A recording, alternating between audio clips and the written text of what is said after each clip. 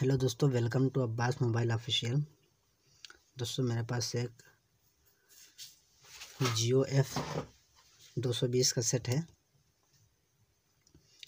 और इसमें प्रॉब्लम जो है वो स्पीकर का है।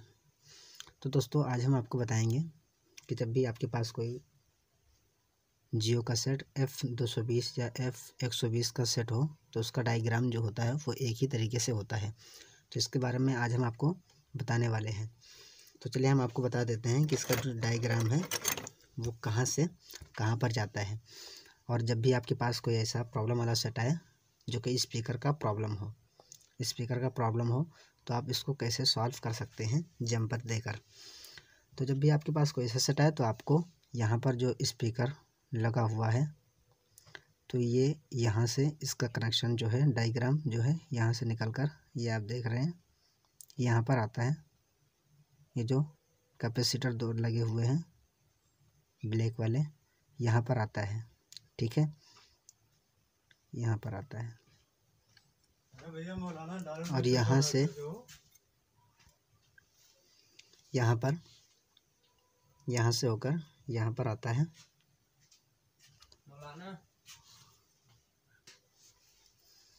तो यहाँ पर ये कनेक्शन इसका यहाँ पर आता है। फिर यहाँ से जो, अगर यहाँ पर आपका कनेक्शन नहीं मिल रहा है या शार्ट नहीं हो रहा है तो आपको यहाँ पर जंपर कर देना है तो कनेक्शन मिल जाएगा और फिर आपका प्रॉब्लम सॉल्व हो जाएगा। अगर यहाँ से भी नहीं होता है तो आपको इसी तरीके से दो कैपेसिटर यहाँ पर ये लगे हुए हैं। यहाँ पर आप जंपर करके अपना प्रॉब्लम को सॉल्व कर सकते हैं। ये जो ब्लैक वाले कैपेसिटर दो लगे हुए हैं इन दोनों का कनेक्शन यहाँ से यहाँ पर आता है और फिर यहाँ पर आकर मिलता है। फिर उसके बाद आप देख रहे हैं यहाँ पर एक छोटी सी आईसी लगी होती है, जो कि स्पीकर आईसी होती है। यहाँ से कनेक्शन होकर इस स्पीकर में आता है। और फिर भी अगर यहाँ तक कनेक्शन आपका अगर क्लियर है और फिर भी आपका प्रॉब्लम सॉल्व नहीं हो रहा है तो आपको क्या करना है?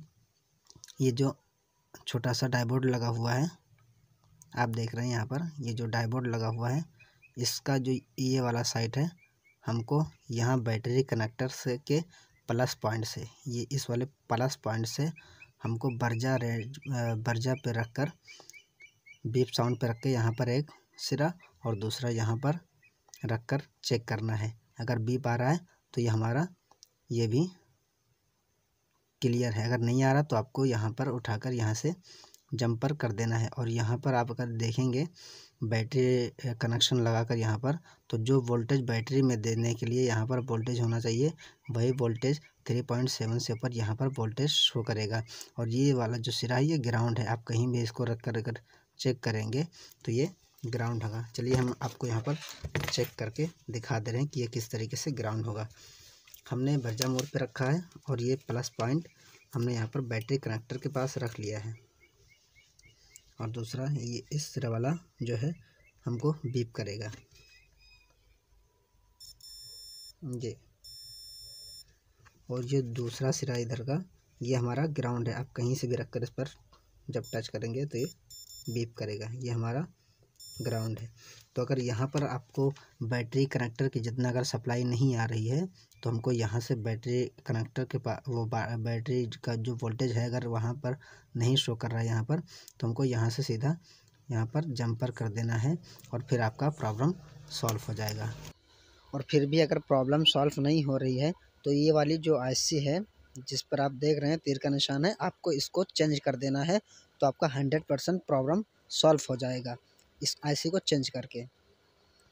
अगर आप हमारे लेटेस्ट वीडियोस के बारे में जानना चाहते हैं तो हमारे चैनल को सब्सक्राइब करें और बेल आइकन को प्रेस